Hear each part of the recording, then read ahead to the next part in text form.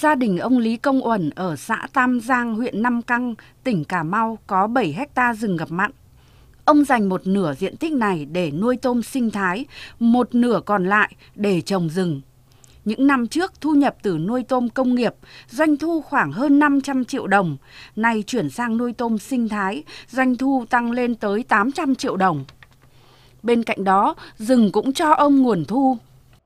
Nuôi tôm sinh thái tới giờ thì cái gia đình tôi thì phát triển cũng nhiều đó. À, theo mình thấy như trước đây. À, à, tôi cũng được xây được nhà rồi con cái cũng học hành tới nơi tới chốn. Tôm nuôi sinh thái, tôm nuôi ở trong cái vùng rừng à, ngập mặn thì cái chất lượng nó tốt hơn. À, theo các cái nhà nghiên cứu thì người ta nghiên cứu ở trong cái môi trường này cũng có rất là nhiều cái thức ăn tự nhiên và khi con tôm nó sử dụng cái nguồn thức ăn này thì nó tạo ra một cái uh, dinh dưỡng cho cái sản phẩm thì nó à, có cái chất lượng thịt ngon hơn.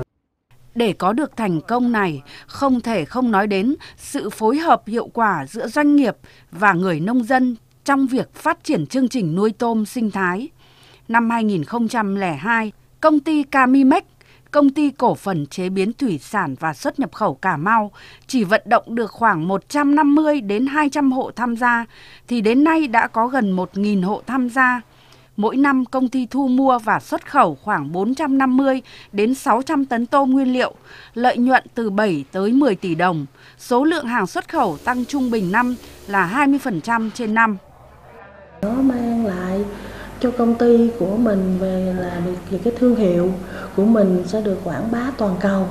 Sản phẩm về chất lượng nó sẽ đa dạng hơn.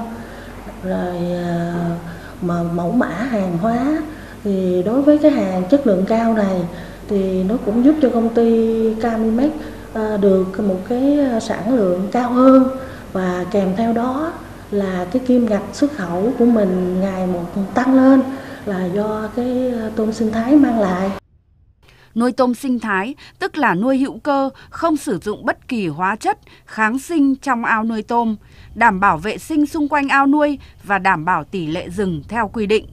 Mô hình này vừa mang lại hiệu quả kinh tế cho người nuôi tôm bằng nguồn thu nhập ổn định, bền vững và có giá trị cao trong xuất khẩu, đồng thời vừa bảo vệ khôi phục lại hệ sinh thái rừng ngập mặn và bảo vệ môi trường tự nhiên tại Cà Mau.